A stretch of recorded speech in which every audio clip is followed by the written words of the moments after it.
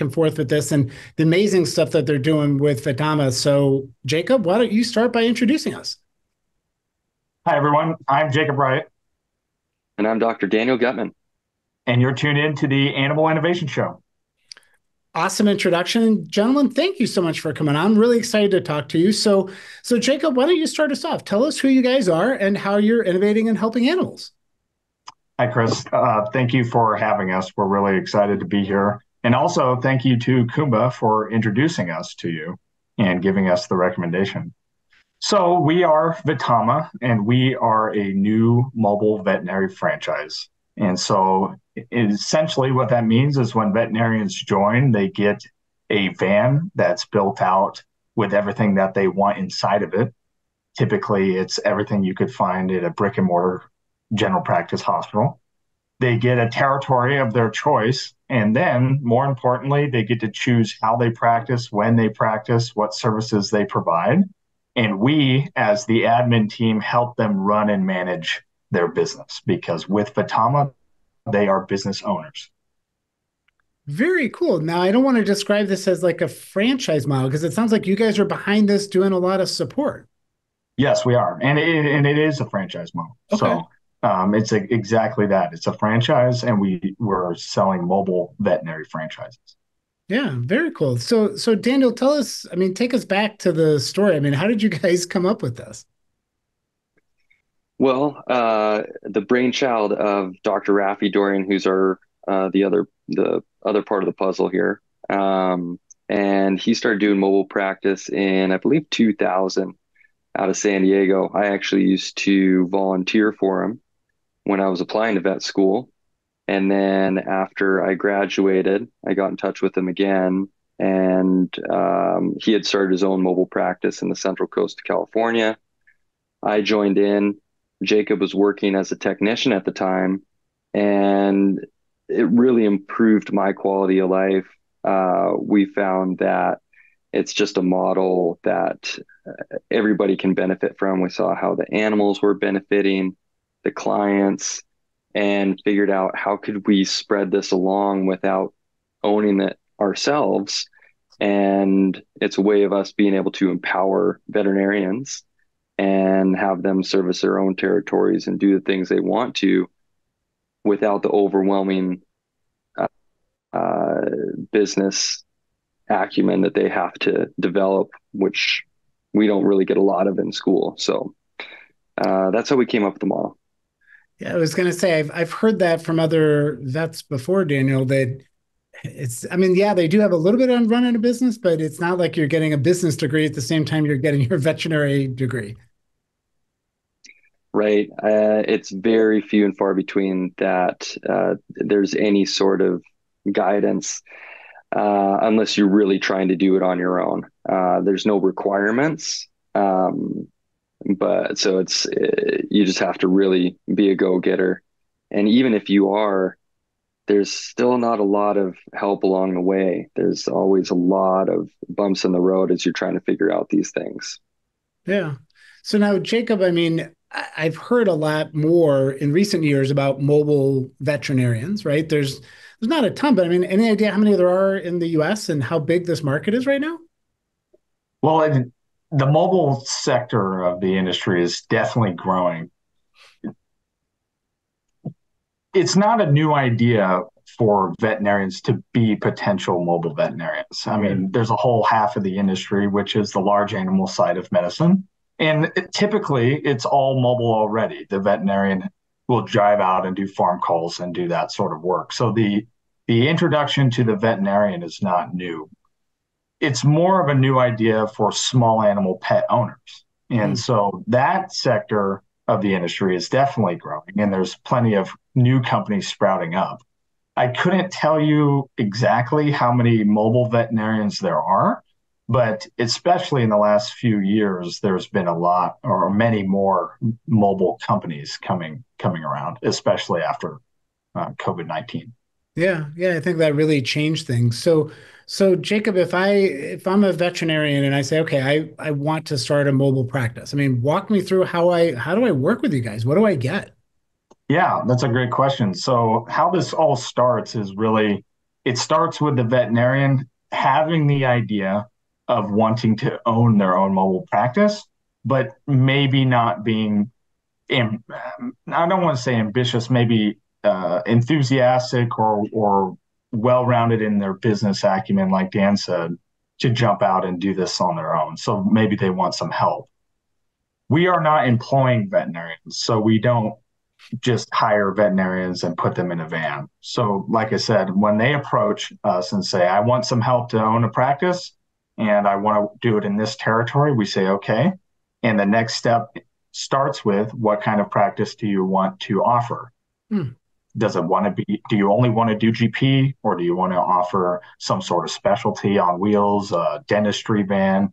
They describe their dream practice uh, a mobile practice and we help them build it. Everything from getting their entity set up to doing their initial marketing, doing some demographic research, some competitive analysis, all of these sorts of things. We we guide them and walk them through it. That's really cool. So it's really turnkey. So so Daniel, when when somebody like yourself as a veterinarian right? It it feels like you guys are taking them from the idea all the way through. Hey, now you're ready to go, right? You you can actually start taking clients and, and driving out and and servicing them. Yeah, it's uh, you know, Dr. Dorian, I um, I jumped into his practice, and so I always joke that I kind of wish I wait, waited a couple of years until they developed this, so I could have started a Vetama van. Um, but that's part of the allure to having somebody like me on the team who can kind of walk through those bumps. Um, but you're absolutely right. There's uh, because it doesn't exist in that territory. Um, there's a whole uh, marketing roundup. Um, uh, there's a lot of uh, research that goes into demographics, and by the time uh, a franchisee wants to be up and running, they should have at least a week full of appointments and they're ready to go. Nice. Now, I mean, Daniel, I, I, I Jacob kind of talked about. It. I mean, it could be all small, all types of small animals. It could be general practice, specialty. I mean, I think we've got five cats, right? And they would much prefer to have you come to us than for us to have to load them up in the car to go to the vet. Yeah, absolutely. Uh, so I always joke that um, veterinarians, uh, some of us, uh, kind of dread our cat appointments, uh, especially the brick and mortar cats. They go in the, the in, into the carrier for 15, 20 minutes. Then they're in the waiting room hearing some dogs barking. Then they're in, in the exam room waiting for a little checkup. And by that time, they're absolutely freaked out. They're losing it. And so for my first four or five years uh, without doing mobile practice, my cat appointments were probably about 10, 15% of what I was seeing in a day. Okay. And now I have days where I'm seeing uh, sometimes I'll have all cat days and they're all pleasurable experiences. Um, just the stress of the cat is not that difficult. Um, there's always going to be some that are not going to be a huge fan of going to that. Just like, yeah, but um, but it does make it a lot easier on them and a lot easier on the owners as well, um, because they have to deal with that stress, especially multiple animals as well as trying yeah. to trying to get three dogs and a cat into the car and take them to the vet can be a little bit a little bit tricky. It just depends. Sometimes yeah, they don't get say, along our, great. Our cats like to bellow all the way to and from the vet, sing you a nice song. Makes you feel terrible. Yeah. that you're doing to them. So we're trying to help you. Uh, yeah. yeah. They just don't understand it. So, so Jacob, I mean, what about the financial side of this? I mean, for somebody that's listening to this, is it more, more or less economical for a veterinarian to be in a mobile type practice than a classic brick and mortar? That's a great topic from what we've learned and what I've learned shadowing under and working with Dr. Dorian and Dr. Gutman at their mobile practice is the the financial benefit to the veterinarian, especially when they own their mobile practice, is night and day comparatively to working as a part owner or or associate at a brick and mortar practice. Now, the startup cost is probably the the dr- most drastic difference between starting a Vetama mobile practice and starting your own brick and mortar practice.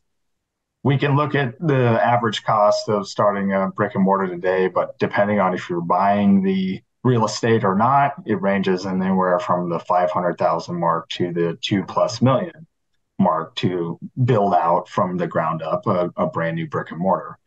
In our model, we have have shown and estimate that it's our startup costs are between 108 to 188,000.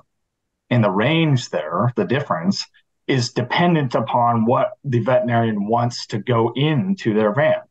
Hmm. So the the overhead is much much lower, um, and the startup costs are much lower than starting a brick and mortar practice. Nice. Now, have you guys? What about technology? Have you thought about how technology makes them more efficient? Oh yes. So we we work with right now. Dr. Gutman, uh, Daniel can talk more about this, but we typically have a mobile ultrasound, a centrifuge, um, a laser, and some other equipment that can go in and out of the van. So, in terms of technology and services that can be provided on the van, they're they're definitely it's moved much more uh, towards getting to that brick and mortar level care than just an EMT bag going in and out.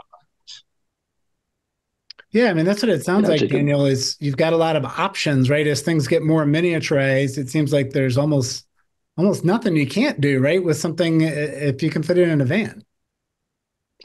Absolutely, and um, and yeah, the the capabilities are there. Um, there are a couple of drawbacks like uh, hospitalizations, um, you know, but those are things that we try to work out um, uh, to be able to provide full services. But as far as what you can you can do in a van these days, uh, as Jacob said, we like to think of it as our mobile exam room, um, and and we can do some some pretty good treatments in there as well. There's just so many good technologies um, with animals um, that are trying to keep them from being in a hospital setting uh, that we try to utilize uh, in the mobile practice. Yeah, I figure if your mobile practice is parked in the driveway, you know, the dog is probably not too unsure about getting in the back of the van because it's at his house, right? Versus me trying to bring him into the clinic and take him out back.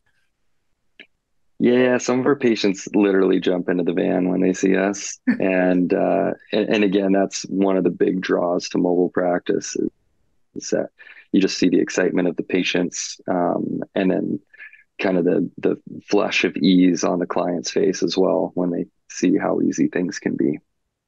So so Daniel, I got to figure one of the other problems is trying to figure out my route, right? What days I'm available, where do I go? I mean, how does Vetama help with that? Well, when we set up a territory, um, we'll be marketing primarily towards that territory. There's definitely an efficiency issue that happens with that. And so uh, it all starts with building that and then incorporating Kumba into that program. They actually do route optimization. And we're trying to trend towards people booking services online. It just seems to be the way that uh, clients want to do things, and it makes things very easy for us as well and Kumba will will optimize that route, which is which is absolutely amazing. Uh, but there are days that um, you have to do fit-ins and and this and that, um, and uh, um, that's that's something that is very experience based on on how to negotiate those circumstances and um, and, and try to work around it. So that's where we we try to help out as well. Sure. So, Jacob, it sounds like Vetama and, and Kumba are a match made in heaven, but what other areas of, of running a mobile veterinary practice have been a challenge that you guys have had to overcome? Mm-hmm. By far and away, the I think the industry has seen that mobile practice, the, the, the bottleneck is scheduling. And so you're absolutely right. When we were introduced to Kumba, we are a match made in heaven and we love working with them and I think they love working with us. But we we we really enjoy their company and their product and, and service. The other main bottleneck I would say in in mobile practice is inventory management. Hmm. And the reason I say that is because there are some when you're ordering or when a veterinarian or a practice is ordering, they're typically ordering to a, lo- a brick and mortar location, whether that's an office or a home or something like that. But then there's another step involved, different than a brick and mortar, which is transferring that to your vehicle, getting it in your van. And sometimes it can be challenging to make sure you're not over ordering or under ordering, depending on, well, what do I still have in the garage or what do I still have at back at the office that I'm not accounting for in the van. And so a lot of what we're working on with our our lessons and what we're going to be teaching franchise owners is uh, lean strategies and lean inventory management to keep a really good track of of your inventory because that directly correlates to your margins and your overhead. Yeah, some basic concepts from business school, right? But to your point, I could imagine somebody just says, "Oh, it's just easier to order a giant box of these," but then where are you going to put them? How are you going to stock them? How do you make sure you have enough for the the clients that are on your route for that day, but not so much that you've got six months worth? Exactly. Interesting. So, so Daniel, what what does the future look like for this? It sounds like you guys have really figured out a lot of this stuff. Where do you guys want to take the business? Where do you see this going? Um, you know, we we definitely want to expand wherever it's needed, and we feel like it's needed everywhere. So um, definitely start in the U.S. We're we're looking at uh, how easy it is to establish franchisees uh, in neighboring countries. Um, but uh, yeah, coast to coast if needed. I mean, there's already so many uh, mobile practices out there that are doing a great job. Um, I think that what's unique to Vetama is that we've we've been able to bring the exam room concept. So we have the built out van, and then just you know it is hand holding for these veterinarians that are struggling to manage their own business. Um, and and and once you see the response of how easy it is for pet owners and and again the pets themselves um, it's just it's a part of the i don't want to say market or industry but just part of of animal health that just needs to be incorporated. Um, you know and and when we do it when when i'm out day to day i mean the amount of times i hear like you know even human doctors making house calls like why is this not a thing? And uh and when we're living it day to day and um, it's yeah we just want to make that a reality. So that's that's the big the big part. Yeah i mean when you look at the the veterinary resource deserts and where vet offices are located versus the population and and the pets i mean it's it's a real thing. We talk about it a lot in the animal welfare industry which i do a lot of work in and just access to veterinary care is is important and it's often hard right in in lower served areas. So to put a vet on wheels with pretty much everything that they need except maybe some advanced things to accomplish 80 or 90% of the needs and keep those animals healthy contributes. It keeps animals out of shelters. It keeps all these other things from cascading because of that. It's a really um, a proactive approach. So i'm glad to see that you guys are you guys are focused on this and really trying to make this turnkey because I can see so many aspects um, that are difficult to do. So, so Jacob, I mean, I know you've been a part of this from the beginning. Um, I'm curious, what have you learned about yourself in this entrepreneurial journey? A lot, uh, but I've I've mainly learned how to how valuable it is to communicate the the genuine goal of what we're trying to do and also learn the genuine goals of others. Because sometimes it's easy and you get caught up in our mission statements and vision statements of companies and in many times they just look like words on a page or words on a screen but finding that in myself is, is when I, I, was a pre-vet student and an animal science student and, and part of this whole story is it, while i was an undergrad in the pre-vet track, I was told the same narrative everyone gets told, which is you, you'll you'll never be successful. You'll be a slave to your work forever. And maybe that's true, maybe it's not. But the reality is just the there's no business formal business education in the curriculum, and the debt is astronomical, which makes hmm. starting a business very difficult.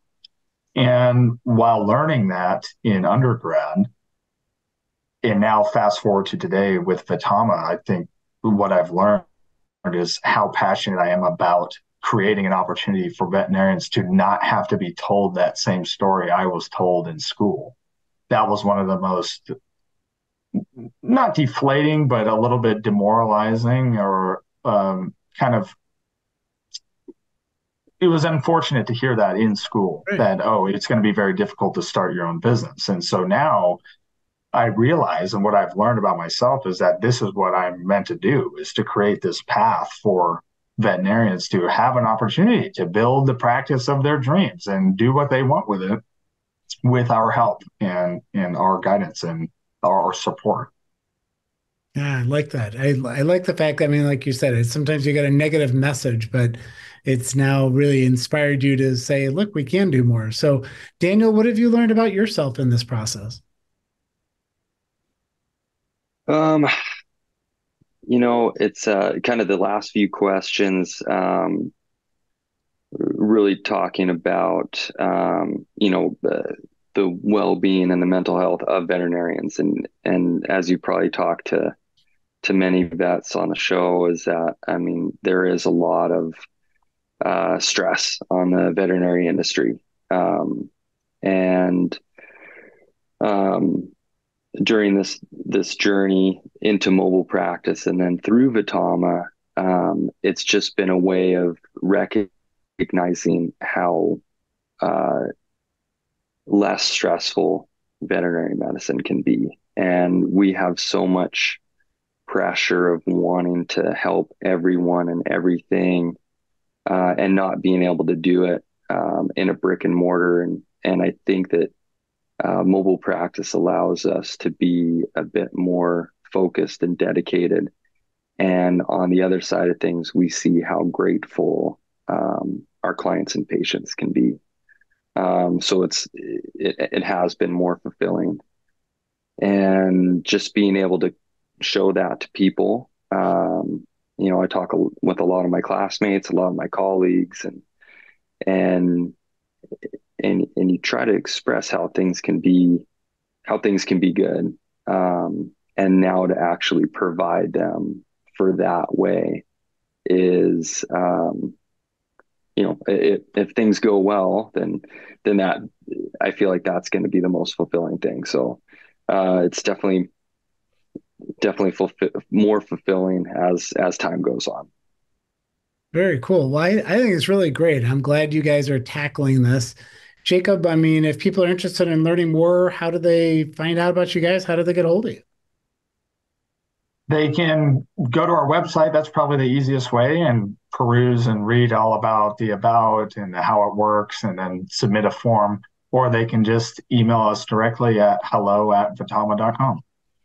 Nice and easy. Well, gentlemen, thank you so much for coming on. Thank you for sharing what you guys are doing and hopefully we'll inspire a whole bunch of veterinarians that really decide, you know, it's time to strike out on my own, start my own business. And you guys have got the turnkey solution to get them going. So that's really cool. And, you know, as I wrap up our show here, I just, I love focusing on innovation. And so maybe some listener or viewer is watching, listening, and thinking, you know, I've got a great idea for something that can help animals or the people that love them. We'd love to know about it. Just go to innovations.show and we'd love to have you on the show.